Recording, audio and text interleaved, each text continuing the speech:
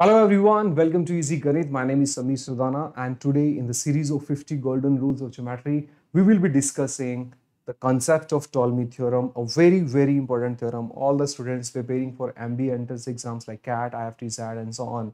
Also students preparing for government jobs like SSC, CGL, CDS, IBPS, PO, and students preparing for IP MAT after 10 plus 2 must follow this series. This is very, very helpful for all these exams that I have just mentioned to you. Now look at this question, guys. Uh, the length of AC is 20 centimeter, right? The, the, the, link of all the videos that I have recorded under this series uh, is available in the description part of the video, guys. You can you can refer to all the 50 golden rules or theorems of geometry in the description part. Guys, in this particular question, what we have is AC length is given to you as 20, BD is 24, right? AD is a diameter. AD is a diameter, as you can see that these two angles are 90 degree. It is mentioned over here also we are supposed to find out the area of the quadrilateral ABCD. So we are supposed to find out the area of the quadrilateral ABCD. Now this is the area that we want to find out. Now first thing that you're supposed to know to find out the area of a cyclic quadrilateral. Why I'm calling it a cyclic quadrilateral? Because all four vertices of this quadrilateral are lying on the circumference of the circle. So this is a cyclic quadrilateral guys. And area of a cyclic quadrilateral, area of a cyclic quadrilateral ABCD, guys, right? Area of this cyclic quadrilateral ABCD will be equal to square root of S minus A, S minus B, S minus C, S minus D. This is another property or theorem. It is known as a Brahmagupta's formula of finding the area of cyclic quadrilateral so this is another one more formula or rule of geometry that you can also keep this in mind. We'll be using this here, right? Now, what are ABCD here? ABCD are the sides of cyclic quadrilateral. What are S? What, is S? S is semi-perimeter. If I want to use this formula to find out the area of the cyclic quadrilateral, I need to find out the length of ABCD. Okay, this length is given to me as 25. BD is given to me as 24. Can I apply the Pythagoras theorem here? Now this is 25, this is 24. Can I straight away say this length will be 7? 25 square minus 24 square is 49 square root of 49 is 7. Also, the length of AC is given to me as 20 centimeter. This is 25. So again, can I apply the Pythagoras theorem? 25 square minus 20 square will be 225. Square root of 225 is 15 centimeter. This length is 15 centimeter. Finding these two sides are very easy. What we are supposed to find out now is the length of BC. Because if I find the length of BC, only then I'll be able to apply this formula and I'll get my answer. Okay, how do you find the length of BC? This is this is where the this is where you'll have to use the Ptolemy theorem. And what does the Ptolemy theorem says? Ptolemy theorem says that in a cyclic quadrilateral, the product of product of AD and BC, the product of the summation of the product of these two opposite side and these two opposite side will be equal to the product of diagonals. That means, to, as per Ptolemy theorem, product of red side plus product of the green sides that is AB into CD will be equal to will be equal to product of the diagonals. And what is the product of diagonal? This is AC and BD this is your Ptolemy theorem guys what is this theorem? This is known as Ptolemy's theorem guys right? Right Ptolemy's theorem. Very very important one. So let's first learn the derivation let's first understand how to implement it then we will talk about the derivation of the Ptolemy theorem also, right? As I'm discussing all the rules that I'm discussing in the series with proof so that other concepts of geometry also get revised with this whole series of 50 golden rule. So this one series is sufficient enough to help you covering the complete syllabus of geometry, right? Uh, uh, as in the proof, we'll be using all possible rules of geometry, guys, right? So this is the Ptolemy theorem, guys. Now you see that in this particular question, this is 25, this is 24, this is 20, this is 7. If I have to find out the length of BC, can I apply this? Can you see that 25 multiplied by, let's say this side is x, plus 15 into 7, 105 will be equal to 24 into 20, that is 480, right?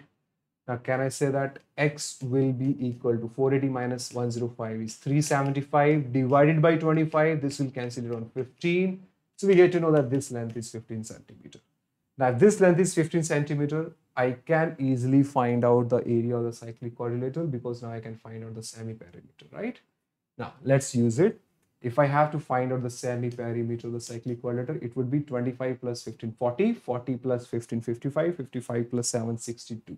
62 by 2 semi-perimeter is 31. So what will be the area? Area as per the Brahmagupta's formula would be 31 minus 25, which is 6. 31 minus 15, that is 16. 31 minus 15 again, that is again 15. 31 minus 7, that will be 24. Got it? 31 minus 25, 6, 16, 31 minus 15, again, 31 minus 15 will be again 16, right? So now 16 into 16 will be, when will be taken outside of the square root will be 16.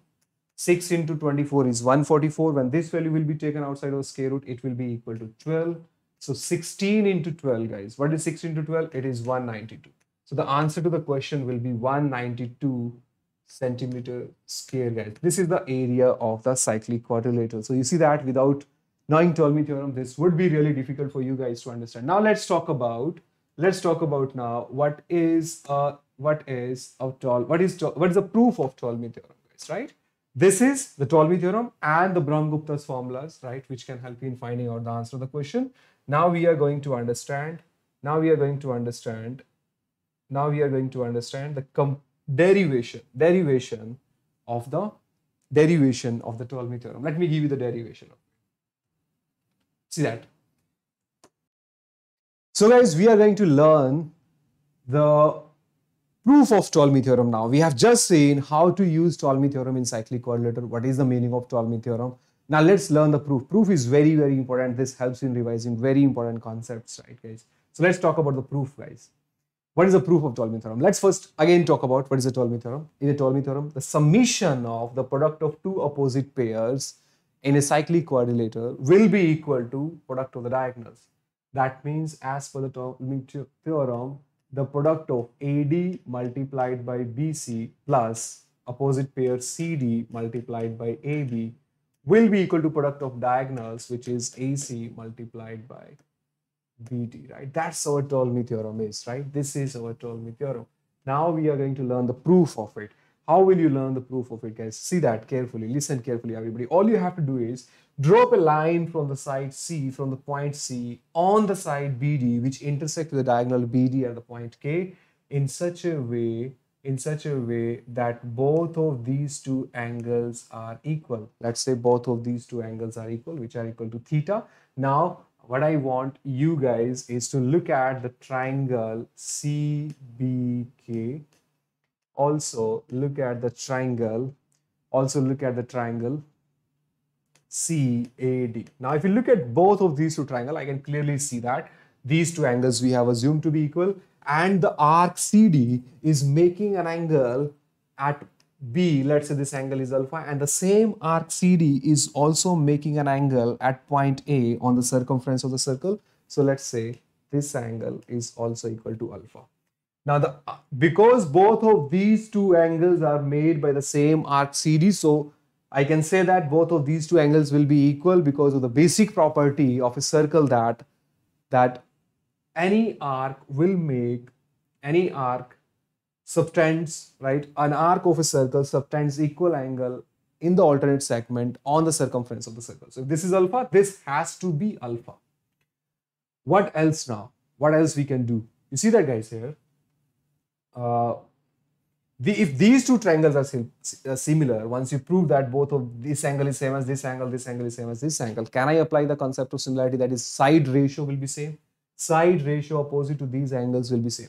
Now the side opposite to theta you can see is BK and in this triangle side opposite to theta is AD. Now the third angle of this angle is this, side opposite to this is BC and the third angle in this triangle is this complete angle and the side opposite to it is AC. Now look carefully. I get to I get BK multiplied by AC is equal to AD into BC, right? This is my first equation. Now in my relation, I need AD into BC. I got AD into BC, which is equal to AC into BK. Now AC part is also there. What I need is to convert BK to BD. Now see that BK to BD. Now BK is already there in my expression. What I need is BD. So I need something with KD now. If I need something with a KD now, I need to target the triangle CKD. I need to target this triangle CKD. Now look at the triangle CKD and and and the triangle and the triangle and the triangle CAB. Look at the triangle CKD and the triangle CBA and the triangle CB. If you look at these two triangles carefully, guys, in the triangle CKD, if I assume that this angle is, let's say, beta, right? This complete angle is beta. Also, now, now in CKD, you can see that this angle is theta plus beta. And in triangle ACB, this angle is also theta plus beta. So you see that both of these two angles are equal. So what I'm saying is, I'm saying that the in triangle CKD, angle KCD will be same as angle ACB because this angle is theta plus beta and ACB, this angle is also theta plus beta. So both of these two angles will be equal, right? I hope it is visible, right? Let me come on this side. Okay, now, now if both of these two angles are equal, now can you also see that the arc BC is making an angle, let's say x degree at in this triangle and the same arc BC is also making an angle x degree here, right? So you see that the second also second angle also becomes equal. If the second angle also becomes equal, what are these angle? The angle, angle B uh, in CKD, in CKD, you can see that angle CDK is same as angle CAB, angle CAB. Now, the moment you prove that two angles are equal, can I say triangles will be similar? So therefore, in the triangle CKD, the side opposite to theta plus beta is KD. So can I say KD upon theta side opposite to theta plus beta in this large triangle is AB. KD upon AB will be equal to will be equal to side opposite to x. You see that here? Side opposite to x in this triangle is BC and in this triangle x is ck. Uh, I don't have any use of ck in my case. So I'll, I'll pick the third angle. And the third angle of this triangle is this one, right? And this angle is in this triangle is same as this one, right? The side opposite to this angle, the third angle is CD, which is same as side opposite to this angle, which is AC. So if I cross multiply it, KD multiplied by AC will be equal to AB into CD, guys, right? This will be equal to AB into CD, right? Okay. So all I have to do now is add these two triangles, right? If I add these two triangles now, uh, uh, if I add these two equations, now see that BK into AC plus BK bk into AC plus kd multiplied by AC will be equal to AB into CD plus AD into BC. Right. Now, if I take AC common, I'll be left with BK plus KD. Now, you see that BK plus KD is nothing but the whole length BD so can I say AC multiplied by BD is equal to, this is what I want. This is product of summation of the product of two opposite pair, AB into AB into CD plus AD into BC, right? Hence proved, hence proved that summation of the product of opposite pairs of cyclic quadrilateral will be equal to product of diagonals. This is what a Ptolemy theorem is and this is what we wanted to prove. Hence proved now, right? This is proved now. Uh, all right, that's it guys. This was a proof of Ptolemy. I hope you got the complete concept and the implementation of Ptolemy theorem. Similar to this, I'll be uploading more such videos. We will be completing the complete series of 50 golden rules of geometry very soon on, on this platform Easy Ganit. Subscribe to the channel, share it with all of your friends all the students preparing for MBA entrance exams and SSC CGL and other government jobs exam like IBPS, IBI, and CDS, right? You'll find the complete content of quant, data interpretation, and logical reasoning on this channel of Easy uh, in the coming time. So subscribe to the channel, share it with all of your friends. Thank you so much for watching the video. See you in the next part. Thanks a lot.